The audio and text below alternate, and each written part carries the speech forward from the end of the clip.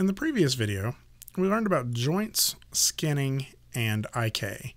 In this video, we're going to make a skeleton for our robot. Now, I will say, over the next few videos, there's a lot of steps that I go over, and you may miss a step, so feel free to back up and redo parts of this.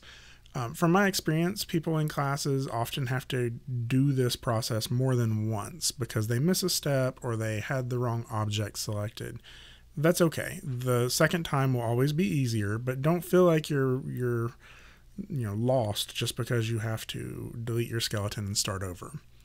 So, the first thing we need to do is make a skeleton for our robot.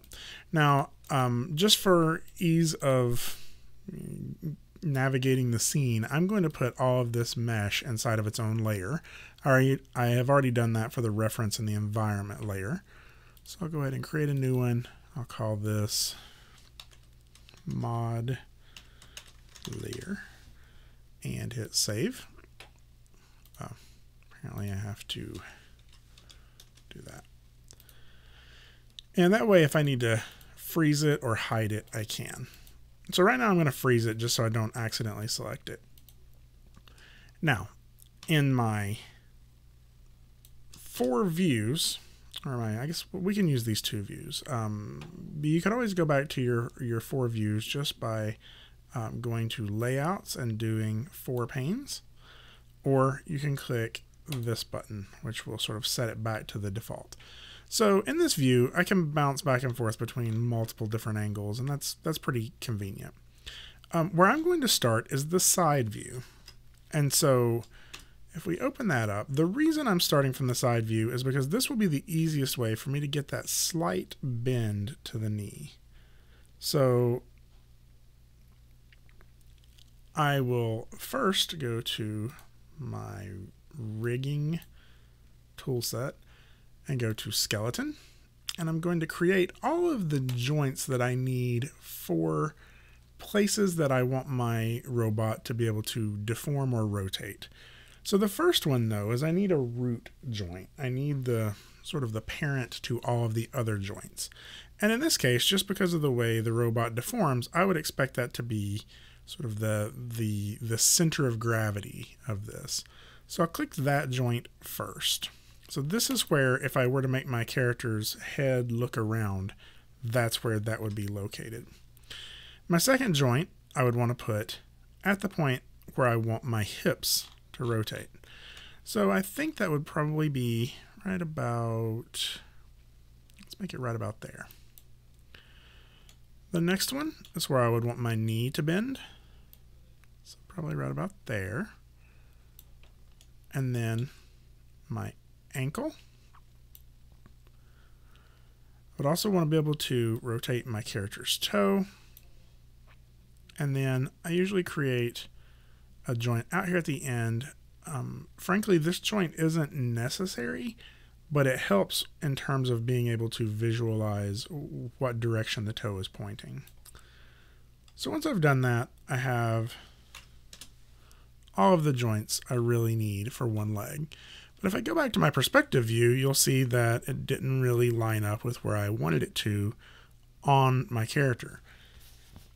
Now, this is okay with me because what I really wanted more than anything was for this to be perfectly in the center of my robot. And it is.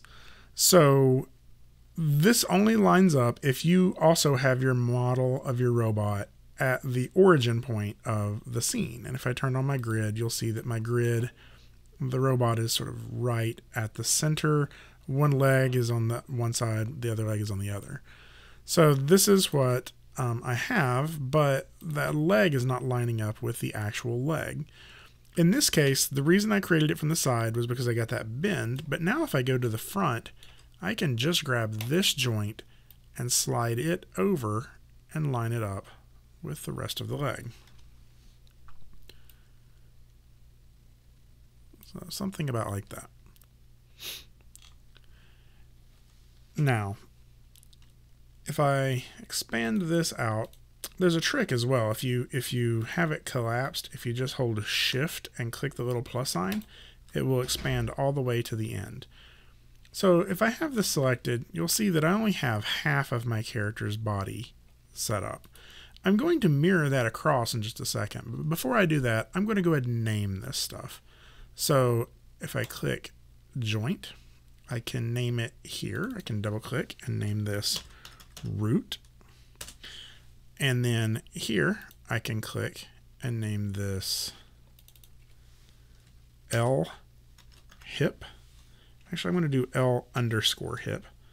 Um, and what this tells me is this is the character's left hip. And so I need to distinguish that because um, eventually the, the character will also have a right hip. So L hip, L knee. I'm going to make sure I put that underscore in there. And I'll show you why in a minute.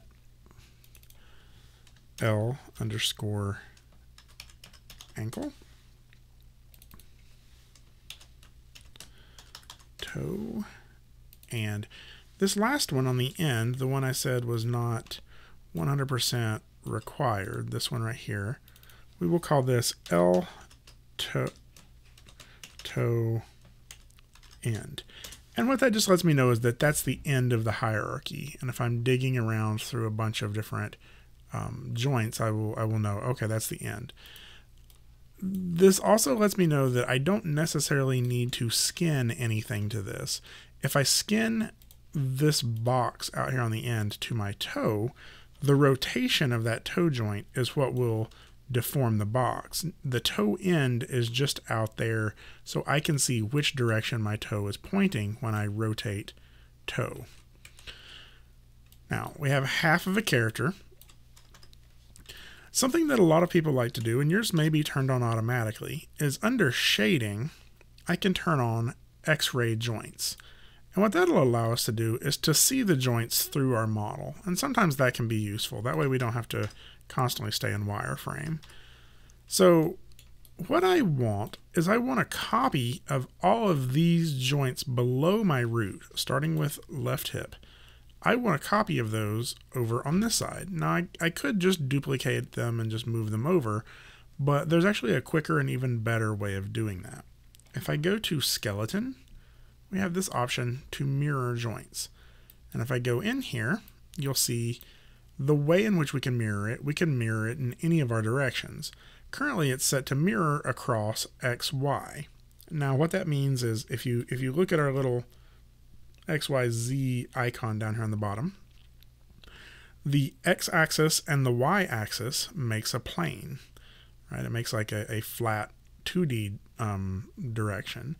And so XY means it would mirror from the z-axis across the x and the y-axis. And that's not really what I want. Um, the easiest way to figure out where you need to mirror is to look at the axis that you're mirroring across. So in my case, I want to mirror from X. I want to go um, across X. Right? I want to go from negative X to or from positive X to negative X. And then I just look for the one that doesn't have X in it. So Y and Z doesn't have X, and that means it's going to mirror in the X direction across Y and Z. Now, I could hit mirror and it would mirror it across, but it would just name it L hip 1, L knee 1, um, instead, what I'm going to do is I'm going to have it rename it as it mirrors it across. So the reason I named it L underscore is because now I can search for L underscore and I can replace that with R underscore. And when I hit mirror, I will get a completely new set of legs that is named correctly. Now it's important to remember one of the biggest mistakes I see people make is that they click root before they mirror. And if you do that, um, you get two root joints at the top here, and that's not what you need. You, you need to select the hip and everything below it and mirror that across. So now we have all of the joints we need for our robot.